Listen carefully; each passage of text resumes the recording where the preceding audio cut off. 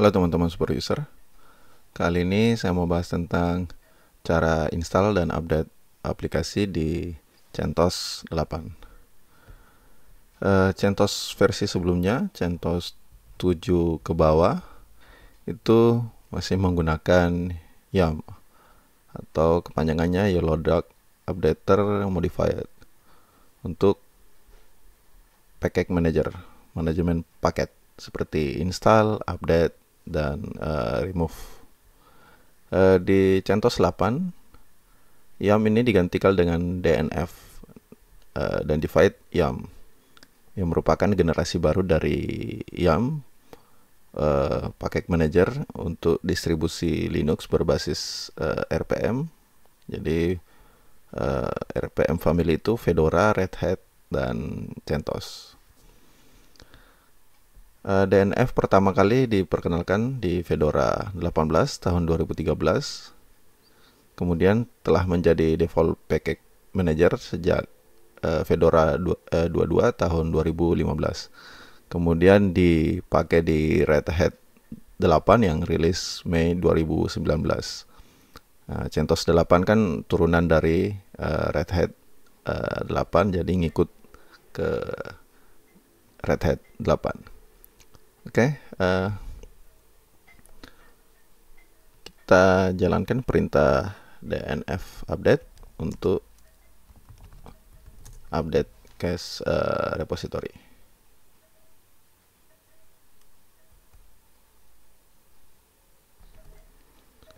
Oke, setelah proses update selesai, uh, terlihat ada uh, 5 paket yang perlu diinstal dan 59 paket yang perlu di upgrade kita jawab yes.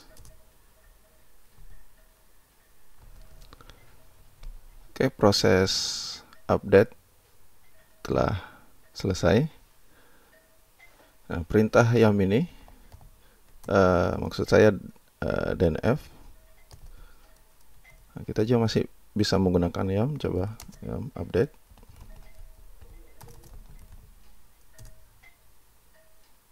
Oke. Okay. Tapi ini sebenarnya hanya link saja yang ini. Link ke DNF. Kalau kita cari s minus l isr bin yam yam ini ngelink ke perintah DNF. Oke, uh, lanjut kita mencari nama paket. Cara mencarinya dnf search uh, text editor. Misalnya kita mau mencari text editor, text editor kan banyak. Ini keyword pencariannya. Nah, ini ditampilkan yang uh, berhubungan dengan text editor. Atau saya mau mencari nano? Nah ini ada nano.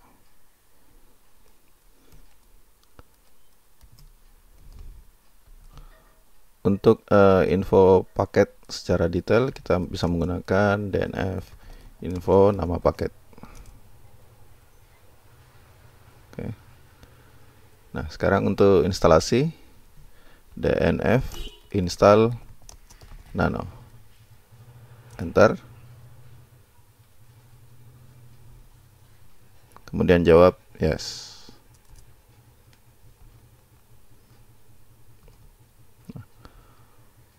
Untuk remove aplikasi dan F remove nano nama paketnya atau nama aplikasinya. Jawab yes. Oke. okay. Selanjutnya menampilkan semua paket atau paket tertentu saja.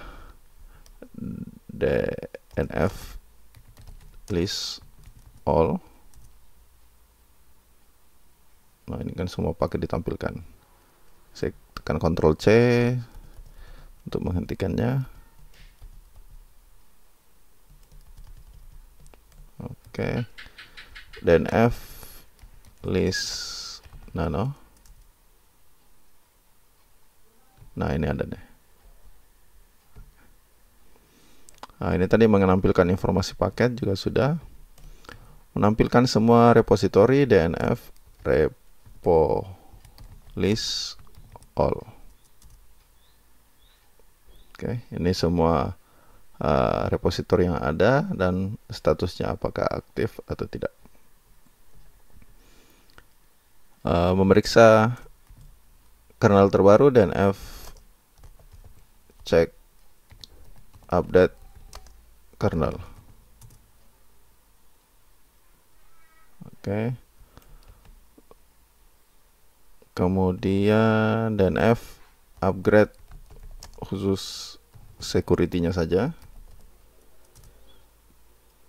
Uh, tidak ada yang perlu di update. Jadi seperti itu cara uh, install software atau paket di CentOS 8 secara umum sama saja hanya perintah awalnya diganti menjadi DNF selamat mencoba